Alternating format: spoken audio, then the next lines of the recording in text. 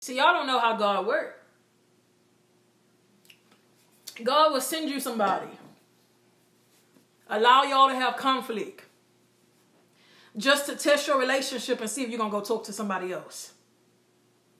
See if you're going to go sleep in somebody else's bed when y'all having conflicts. And it's funny because a lot of you guys want to be married. But you're not used to being with one person. You got secret polyamory and polygamous relationships. And a lot of see polygamy is before polygamy is is an action or it's a, it's exposed. Polygamy is a mindset. And a lot of people, a lot of the way you date, you're dating in a polygamous mindset.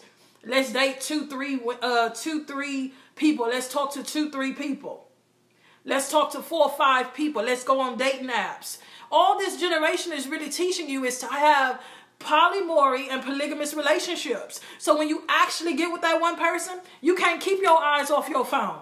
You can't keep your eyes, you, you can't you can't set boundaries with other people. Why? Because you've taught yourself to have this polygamous style of dating. It's very, it's very important. You don't know about courting. Nobody told you about courting.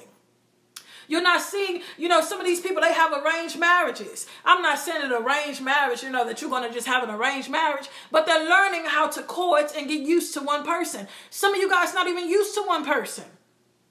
You got to go hide and have three, four dips and side chicks and all this side flings and all this stuff, and you don't know how to have one specific relationship, and then you want to be married?